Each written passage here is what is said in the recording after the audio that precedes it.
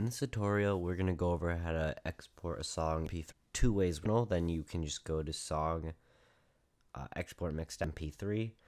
But if you have artists like I do, that's not an option. So what we're going to do is we're going to export file. So you're just going to hit OK. You're going to take your WAV file. And I'm going to open this in VLC. You can do this in any other program really. And now what I'm going to do is I'm going to hit File, Convert slash Stream.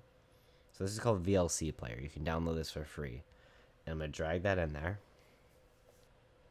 Audio, and I'm going to save as file.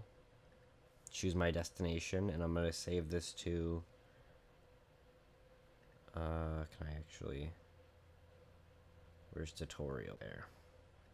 I'm going to save this as title.mp3. Type that in there. Hit save then hit save it's going to run through this.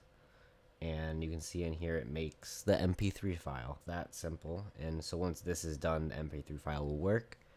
And yeah so that's how you export an mp3 file in studio one 3 thanks for watching